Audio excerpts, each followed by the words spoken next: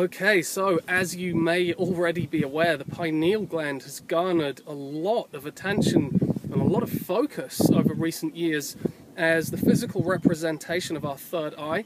It's what allows us to have uh, certain visions, it's what allows us to have dream experiences, it's what uh, uh, enables us to cultivate our psychic abilities. Uh, it's really recognized as an essential organ in developing our, our consciousness and the evolution of our consciousness. Now, the pineal gland produces a very concentrated amount of DMT.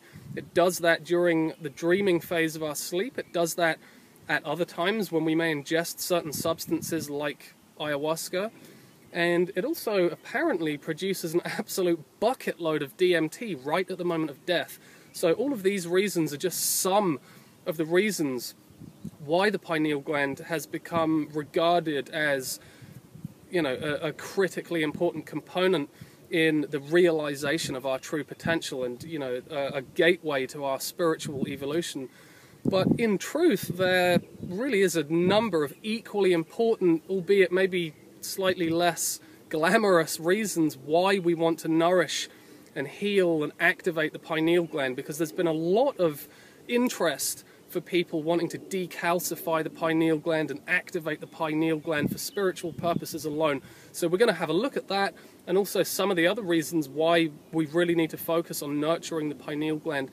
But really in this video I wanted to take a slightly different angle than you know other people that I've seen that have discussed this subject and discuss the importance of the nutrient melanin and how that's actually really the, the pretty much the main macronutrient required by the pineal gland to function optimally and how chaga mushroom is actually the richest, most concentrated source of melanin that we know of in the natural world. So it's probably a good idea to just have a quick look at what melanin actually is. Now it's a very deeply pigmented molecule that pervades throughout pretty much almost all biological life on this planet. I think spiders are actually the only organism that we've ever discovered to not contain any melanin.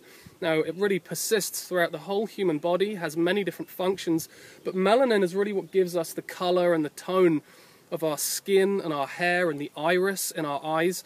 And we could say that um, on a very extreme end of that spectrum, if someone had a very severe deficiency in melanin, it would give rise to the condition of albinism. So you would, you know, have an albino person that really didn't have any real pigmentation to their skin, to their hair, and you know, the iris in their eyes would be kind of pink. And obviously, this is the same for the animal kingdom as well.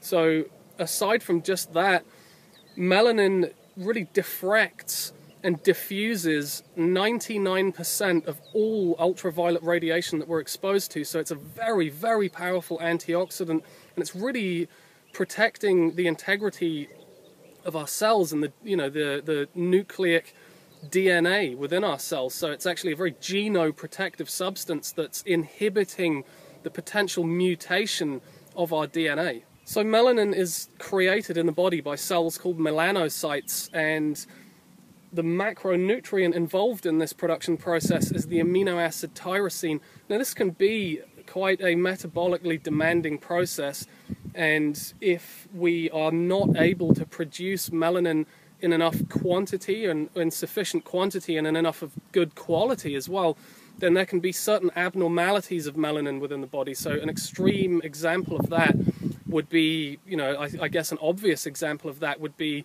malignant tumors that could surface, like the skin cancer melanoma.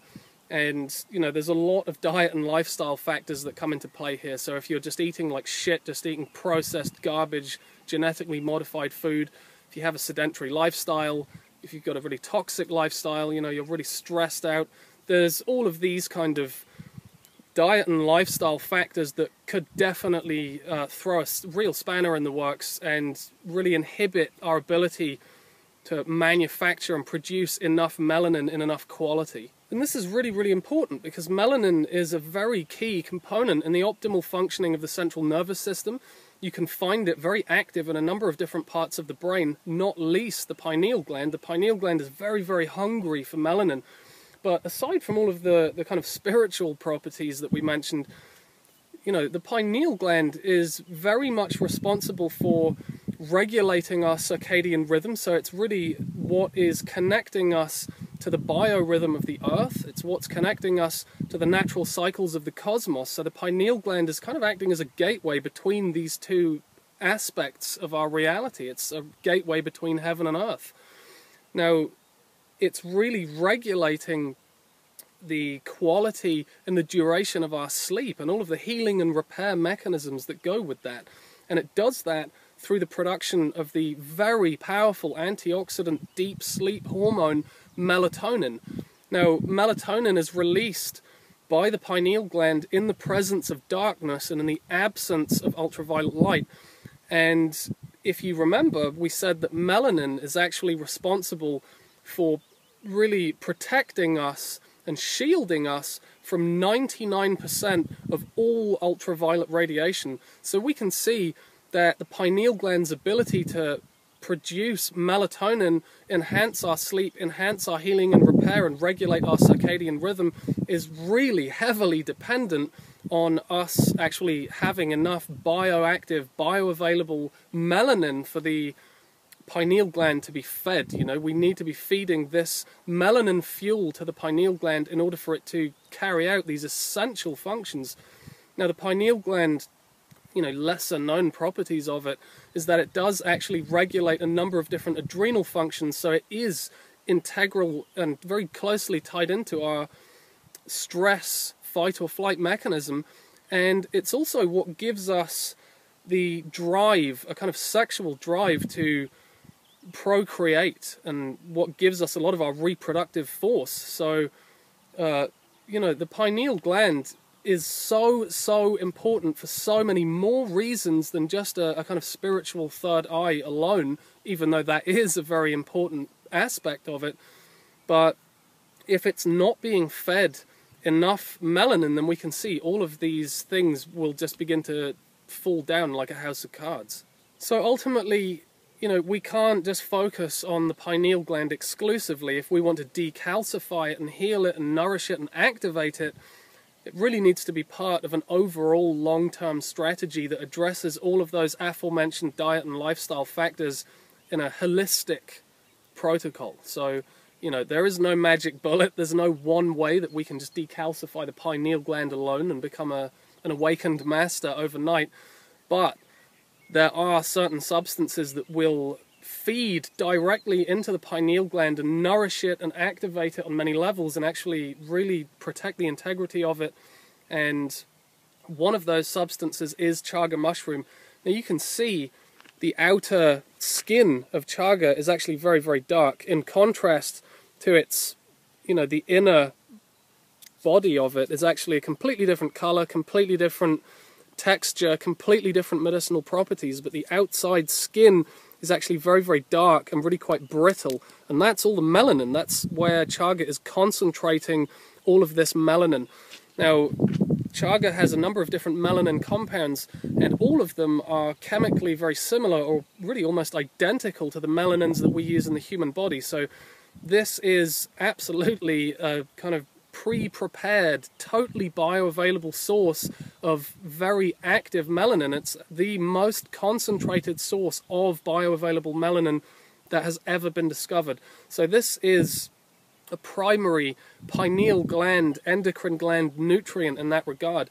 Now, chaga's got a vast array of other health benefits that really would play into this. It's one of the top adaptogens.